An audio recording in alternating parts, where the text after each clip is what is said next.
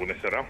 Bună seara și mulțumim că ați acceptat uh, invitația Aș fi noastră. vrut să vă prezint, domnule Bolojan, președintele Consiliului Județean Bihor, dar mi se pare totuși că Dom'le, îi pare o funcție prea mică pentru dumneavoastră. Adică noi întotdeauna v-am văzut făcând ceva mai mult. Adică pare că vă împuținează totuși această funcție.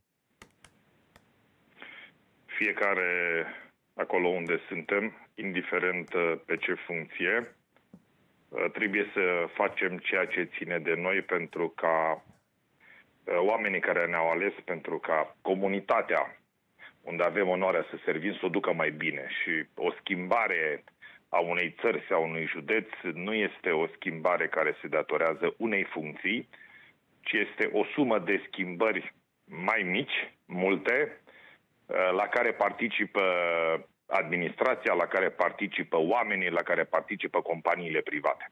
Și poți să faci o treabă bună indiferent unde ești. Domnule Volojan, în aceste momente în care se discută despre așa zisa gaură din bugetul României, pentru că ea, după cum ați văzut, este contestată ca existență uh, de mulți. Uh, opinia dumneavoastră e solicitată pentru că sunteți unul dintre uh, administratorii publici locali, oameni din administrația publică locală cu performanțe notabile. E o chestiune statistică, nu e niciun fel de opinie aici sau loc uh, de opinii.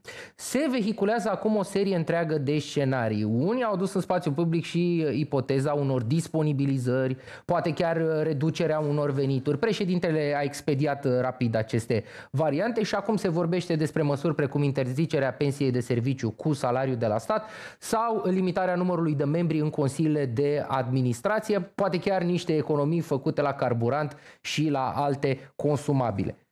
Vrem să știm cum vede președintele Consiliului Județean Bihor soluția pentru o ieșire rezonabilă fără măsuri de austeritate care să ne amintească de reducerile salariale din uh, timpul uh, mandatului domnului Emil Boc, dar care să fie îndeajuns de consistente pentru a depăși această sau pentru a ieși din această gaură pe care au calculat-o unii la 20 de... Cât, domnul Buzea, miliarde? Da, 20 de milioane. Deci există o, o diferență între austeritate, ideea de a, să spunem, reduce cheltuielile masiv și de a reduce risipa Uh, pentru că risipa, deci deficitele bugetare care nu sunt dublate de investiții, nu fac decât uh, uh, să întârzie dezvoltarea țării sau a comunităților noastre. Și atunci sunt câteva evidențe care nu le putem contesta. Faptul că, pe de o parte, contractăm credite Eh, an de an, dintre care o parte se duc în dobânzi, se duc în refinanțarea unor credite anterioare, eh, ceea ce înseamnă că în fiecare an datoriile țării noastre cresc și uh, orice perspectivă viitoare de criză globală ne poate afecta după modelul celei din 2008-2010, Eh, avem o, o situație care nu poate fi contestată legat de faptul că numărul de angajați în sistemul de stat este mult prea mare eh, raportat la cel din sectorul privat și atunci ori reușim, dar guvernul nu poate să facă asta, aceasta pot să facă companiile. Să creștem numărul de angajați în sectorul privat, ceea ce nu este simplu, uh, pentru că înseamnă ani de zile, Uh, în așa fel încât acești angajați să-i poată susține pe cei din sectorul public și pe, uh, pe pensionari, uh, sau reducem aparatul de stat. Asta sunt niște evidențe, iar în condițiile în care în alți ani țara noastră a putut să funcționeze cu un aparat de sub un milion de angajați la stat, înseamnă că poate să facă acest lucru și în anii următori.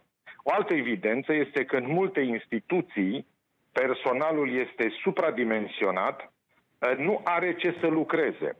A continua cu această situație înseamnă, în afară de risipă bugetară, înseamnă și demotivarea oamenilor din sectorul public care lucrează, pentru că eh, sistemul guvernamental este uh, dus în spate de foarte mulți oameni de bună calitate din sectorul public, dar care fiind băgați în aceeași oală cu cei care nu-și fac treaba, uh, vă dați seama că sunt demotivați, sunt priviți de o bună parte a populației ca și niște amploiați uh, care nu justifică uh, locul de muncă și în felul acesta percepția asupra direcției în care se mișcă țara rămâne uh, în general negativă.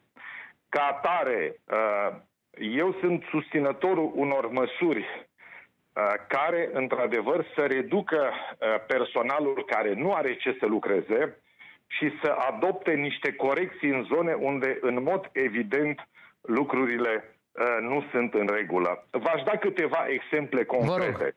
Sigur, uh, uh, înainte de a spune uh, chestiuni pe tema asta, se pot lua măsurile care s-au mai luat de fiecare dată când guvernul a sesizat că există, să zicem, niște diferențe între încasările estimate și cele reale sau între cheltuielile prognozate și cele reale. De la limitarea numărului de angajări, de la limitarea uh, achiziției anumitor bunuri și așa mai departe. Aceste uh, măsuri sunt, uh, cum să vă spun, de mică amploare și nu corectează lucrurile pe fond. Dar mă gândesc, de exemplu, dacă toți cei, înțeleg, aproape 200 de secretari de stat au fișa postului încărcată. Dacă înainte puteam funcționa cu 70 de secretari de stat, cu 80 de secretari de stat, cu 100, da, chiar nu putem funcționa decât cu 200? și atunci vă puteți da seama că, sigur o să-mi spuneți, da, asta este o reducere uh, atâta de mare. Nu este o reducere atât de mare, dar dă un semnal uh, tuturor instituțiilor din subordine că din start se ia o măsură de la un nivel guvernamental și este un semnal că se poate declara că toată lumea trebuie să se ducă într-o anumită direcție.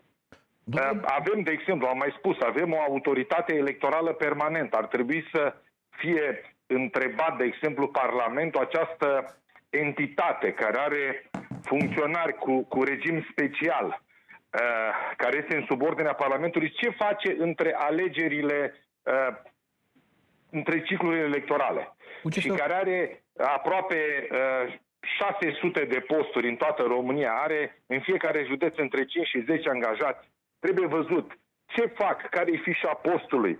S-ar putea să se constate că e greu să o completeze în ultimele câteva luni cu ce au făcut. Păi în cazul fostului șef AEP, schimbarea din funcție a survenit în urma unui scandal în cadrul căruia era acuzat că și-a angajat niște nepoate. Nu știu, ascultați-mă, nu am date de da. interior. Eu vorbesc în general, în general. ca și da. justificare a unei era o explicație de ce sunt atât de multe posturi în AEP. Gândesc la o altă și multe nepoate avem niște autorități de reglementare, AMCOM, ANRE, care ciclic sunt subiectul unor discuții de genul salariile care sunt acolo, posturile, luptele și așa mai departe pentru a accede pe anumite poziții. Uh, am citit că în Germania nu există uh, mai multe autorități de reglementare, ci o singură autoritate de reglementare. Uh, și de ce n-ar putea funcționa AMCOM-ul și ANRE-ul? Pentru că vă dați seama că o bună parte din personal nu este formată din specialiști, nu știu, în gaze, în electricitate sau în uh, telecomunicații, ci este un personal de tip auxiliar, contabilitate, juridic și așa mai departe, care ar putea fi deservit foarte bine și dacă, dacă în Germania, într-o țară care este totuși de câteva ori mai mare decât în România, funcționează o singură autoritate de genul acesta, înseamnă că ar putea func- să funcționeze și la noi. În administrațiile locale, județene, acolo unde într-adevăr se constată că este un personal uh, supradimensionat, sigur că guvernul poate să ia anumite măsuri uh, ca acolo unde, de exemplu, am uh, localități uh, care nu-și acoperă din impozitele uh, încasate de la cetățeni, nici măcar cheltuielile cu salariile, acolo, într-adevăr, uh, nivelul de salariu, numărul de angajați, să fie aprobat de către guvern, pentru că nu este normal uh, ca într-o astfel de localitate Consiliul Local să aibă, dacă vrea, și viceprimar, deși nu se justifică că poate are 1500 sau 2000 de locuitori sau 500 de locuitori, să să aibă consilier personal și așa mai departe. Uh, deci, dacă tot primesc bani de la guvern pentru a funcționa, înseamnă că ar trebui să se stabilească niște standarde decente și asta nu va aduce decât câștiguri în administrație. Rămân oamenii care într-adevăr lucrează, da. ei vor fi respectați. Eu văd uh, la noi, atât în primăria Oradea, unde am fost primar, cât și la Consiliul Județean, Eh, colegii care au rămas, eh, au dispărut acele tensiuni, pentru că lumea nu mai are timp liber, trebuie să lucreze. Are treabă, da. Eh, livrăm proiecte, colegii da. sunt partea unor proiecte, se simt respectați de oameni pentru că se vede ceva în urma lor. Dar vă dați seama, într-o, într-o entitate, într-o zonă, unde toate impozitele care se încasează sunt duse pe salarii, nu uh, respectiva primărie există pentru cetățeni, ci cetățenii există ca oamenii din primărie să ia salariile și dacă nu se vede mare lucru de pe, de pe urma unor astfel de, de uh, autorități publice, vă dați seama care e nivelul de încredere al cetățenilor. Domnule Bolojan, deci, vă asta, asta susține aceste lucruri și cred că se pot face niște economii importante da. Uh, și sigur, nu, nu asta este uh, singurul pachet de măsuri, pentru că de la Uh, modificarea legislației ca să accelerăm absorția de fonduri europene, pentru că avem tot felul de probleme, de la a crește gradul de ocupare uh, în uh, economie, de la îmbunătățirea încasării taxelor și impozitelor, toate pachetele astea de măsuri, sigur, mă gândesc că guvernul le are în vedere și uh, dacă sunt luate cât să poate de fel, Noi sperăm. nu pot decât Așa să avem, ducă lucrurile într-o direcție bună. Avem toate motivele din, din lume și din istorie să credem că guvernul fix asta va face în continuare. Domnul Boljan,